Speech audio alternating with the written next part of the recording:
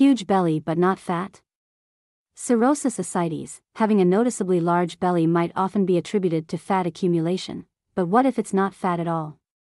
This scenario often pertains to a medical condition known as ascites. Ascites involves the accumulation of fluid in the peritoneal cavity, giving the abdomen a distended appearance.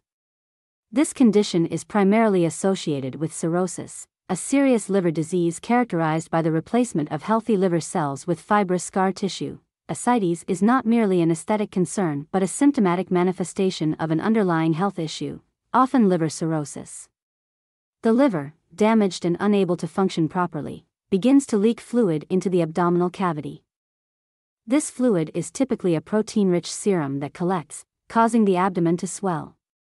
Unlike fat accumulation, ascites results in a belly that feels tight and may be painful to the touch. Cirrhosis is a gradual process where liver cells are progressively replaced by scar tissue, a phenomenon that results from chronic injury to the liver. Common causes include long term alcohol abuse and chronic viral hepatitis. Poor dietary habits can also contribute, particularly those that lead to prolonged inflammation and a fatty liver.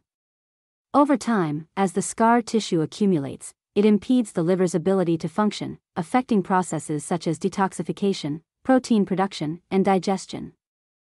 Initial symptoms often include a noticeably enlarged abdomen due to fluid accumulation, persistent fatigue, and weakness as the liver struggles to filter toxins.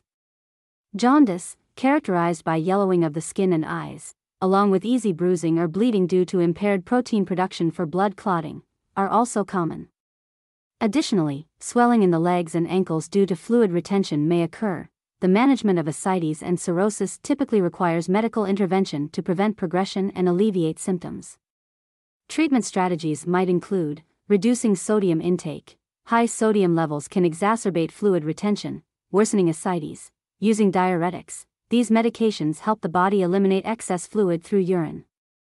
Reducing the volume of ascites, natural remedies, and lifestyle changes in addition to medical treatments, certain lifestyle modifications can support liver health and manage symptoms, lowering carbohydrate intake, reducing carbs, especially refined sugars and grains, can help manage blood sugar levels and reduce liver strain, abstaining from alcohol. Alcohol can be particularly harmful to a damaged liver and abstaining from it is crucial. Balanced diet, a moderate intake of proteins and fats, along with a high intake of cruciferous vegetables, can support liver health intermittent fasting, this can help improve metabolic health and reduce the burden on the liver. Patients, recovery, and improvement of liver health can be slow.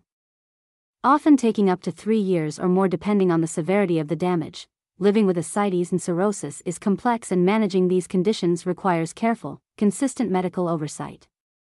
It's important to work with healthcare providers to tailor a management plan that's appropriate for your specific health needs.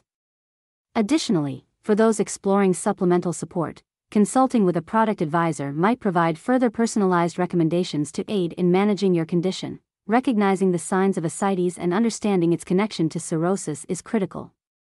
With appropriate medical care and lifestyle adjustments, individuals can manage their symptoms and potentially halt the progression of liver damage.